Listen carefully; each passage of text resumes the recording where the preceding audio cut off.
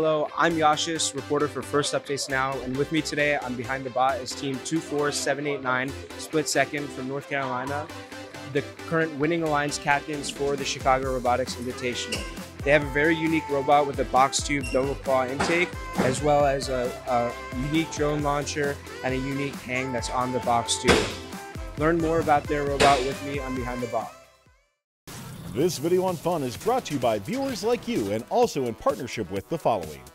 AndyMark is your one-stop shop for all your robotics competition needs. Celebrating 20 years of quality robotics parts and superior service, AndyMark employees have over 200 years of first-team experience. From mechanical and electrical products to tools and hardware, head on over to andymark.com for high-quality and affordable solutions.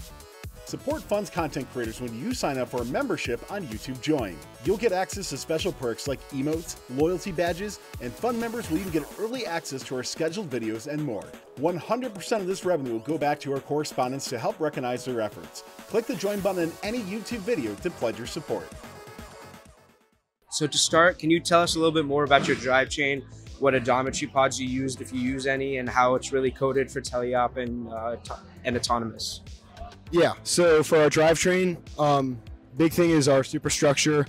Um, we have all of our motors down right at the bottom of the robot, laid right in there. We have uh, four 435 RPM motors on a drivetrain, but then they're geared up, I believe, 23 to 15 to about 600 RPM, just so we can go as fast as possible on the CRI field. Then after that, we have our two motors for our telescope, which are two 1150 or 1150 RPM motors geared together. And then finally, our elbow motor, which is comes out to around 60 RPM. Um, and then additionally, odometry, we have two optiodometry pods in the side of our drivetrain, as well as I forget the brand, but the optical odometry sensor as well. That's really great. Uh, why don't you tell me more about your your double claw intake as well as the box tube design and why you decided to go with it this season, and if you had any inspiration for it? yeah, so uh, we have our double claw intake. It's pretty standard that you've seen on most teams this year. We have two micro servos on each side of the robot that connect the pincers in the middle. It's all printed out of Markforged uh, onyx filament with carbon fiber set inside it, so it can be light and very durable. Um, and yeah, and generally, uh, why we decided to go with the box tube.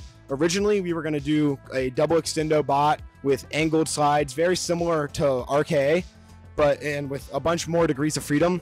However, CookieBots posted their teaser video, and in the Discord, someone put Jack in the Bots, and we didn't know if it was CookieBots at the time, but we decided that looks kind of similar. And Jack in the Bots had um, really good autos in terms of their time in FRC the previous year.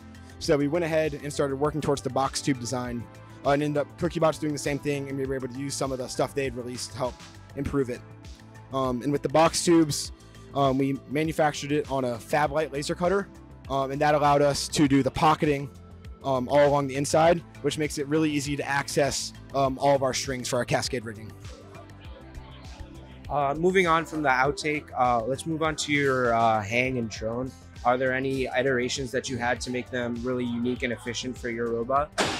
Yeah, so for our hang and drone, originally our first version of the robot only used a 435 or a singular motor for our um, extension and we tried climbing on just that singular motor and it worked.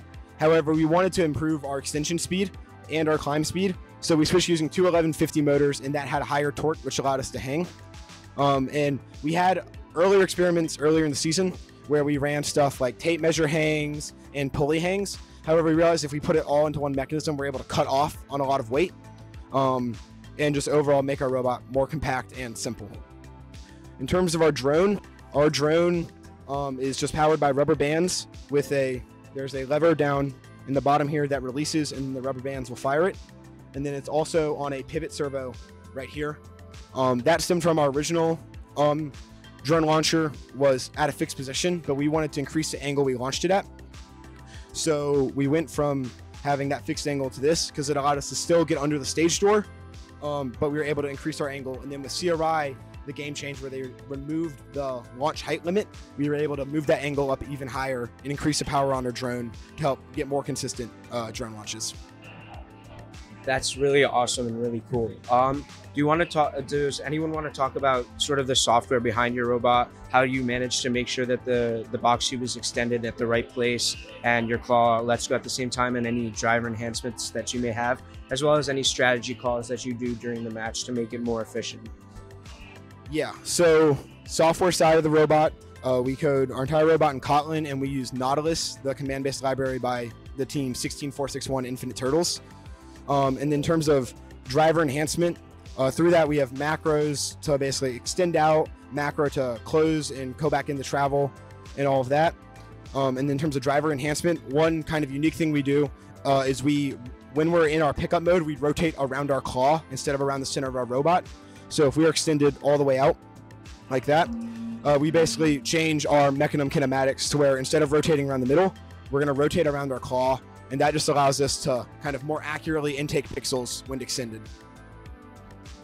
All right. Well, thank you for joining us on Behind the Bot. I hope the viewers really understand and uh, like to uh, like to learn more about your robot, and I hope it helped them. So, thank you again for having us on Behind the Bot. This video on fun is brought to you by viewers like you and also in partnership with the following. AndyMark is your one-stop shop for all your robotics competition needs. Celebrating 20 years of quality robotics parts and superior service, AndyMark employees have over 200 years of first-team experience. From mechanical and electrical products to tools and hardware, head on over to andymark.com for high-quality and affordable solutions.